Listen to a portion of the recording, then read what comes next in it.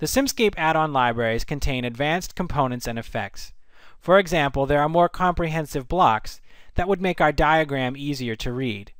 Many of the blocks in the add-on libraries have additional parameterization options that make it easier to assign realistic values based on datasheets. There are additional physical effects, such as efficiency losses and thermal dependency, that are implemented in the add-on libraries. And finally, using the Simscape add-on libraries enables multi-body simulation. I'll now switch over to the model and show you some examples. Here is our hydraulic lift model. We're going to enhance a number of these systems using the Simscape add-on libraries. You can see them here below Simscape.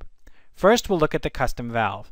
If we look at the custom valve, we used variable area orifices to model each of the connections between the different ports. In SimHydraulics, there is a library of valve models that we could use in order to model this block. What I'll do is I'll go back up to the top level and we will substitute in a standard valve for the custom valve that we had here. Now when I go into the subsystem you can see that we have used a standard four-way directional valve to model those connections. And you can see that there are a number of parameterization options available to us using this standard valve. If we go into the custom actuator, you can see that we used a number of blocks to implement this double-acting hydraulic cylinder. SimHydraulics has a set of hydraulic cylinders, including additional physical effects. So we could go and replace this custom a custom actuator with a standard actuator. And here you can see the double acting the double acting cylinder from SimHydraulics that includes the different um, the different the two different sides, the hard stop parameters, and the initial conditions. Going back up to this level, we can go down into the electrical system and see how we implemented the motor and the wheel and axle block. If we look at the add-on library SimElectronics, you can see that there are a series of, there are sets of different types of actuators that we could include. And if we look at SimDriveline, there are sets of gear models that we could use. So what I'll do is I'm going to replace the motor with a standard motor model. Now when I go down into this library you can see we've used the DC motor block which again has a number of different methods for assigning different parameters and makes the diagram easier to read.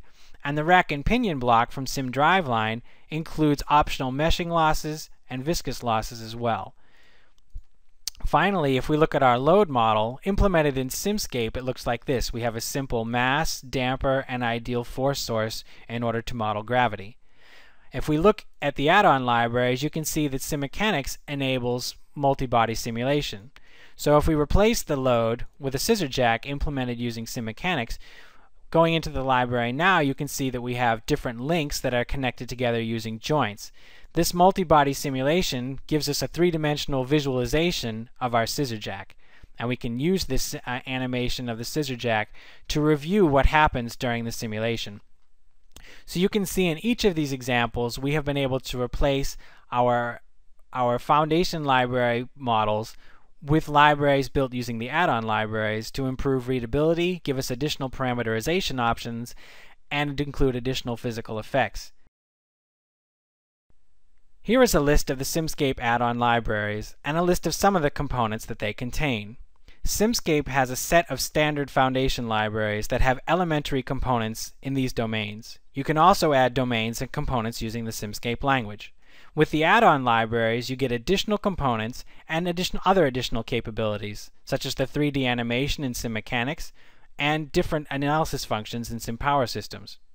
When you use the Simscape add-on libraries, not all of your team members need to have licenses for all of the add-on products. You have the ability to share models that use the add-on products with other Simscape users, even if they don't have the add-on licenses. If you are a model developer who has a Simscape license and licenses for the add-on products, you can generate models using all of these products. When they are saved in restricted mode, other people in your team, the model users, can use them as long as they have a Simscape license. They don't need to have a license for the add-on products, they just need to have the product installed. This table shows you some of the things that you can do in full mode, where you have both the license for Simscape and the add-on product, and in restricted mode. In restricted mode, you can still do all of your regular changes to Simulink blocks. You can change the solver, But you can also, in the Simscape blocks, you can still change numerical parameters, you can still replay the 3D animations from SimMechanic and use analyses in the Power GUI from SimPower Systems, and you can generate code. So there's quite a bit you can do even with even in restricted mode.